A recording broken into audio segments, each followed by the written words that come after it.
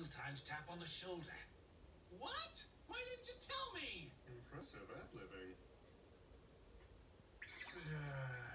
this is exhausting. I don't know what I did to deserve all this ridiculous stress. Agree to this contest for one.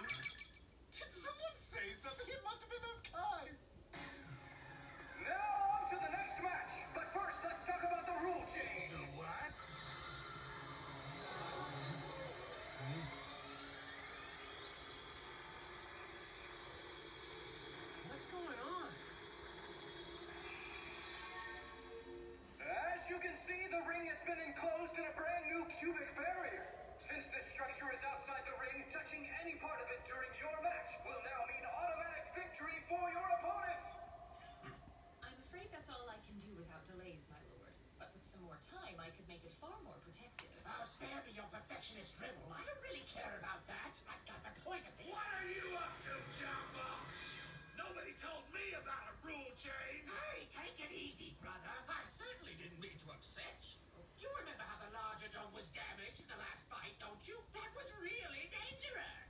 I simply want to ensure the safety of our guests. These fighters are powerful. We need to take some precautions. And of course, have to address it in the rules. You can't make changes without asking me. Hmm, sure I can.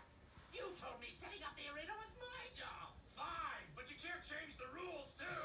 Don't you care about protecting our guests? Of course not. Why would I care what happens to mortals? And the gods can take care of themselves. You sit down! No whining over nothing! Why not settle this peacefully with the game of rock, paper, scissors, huh? That works for me.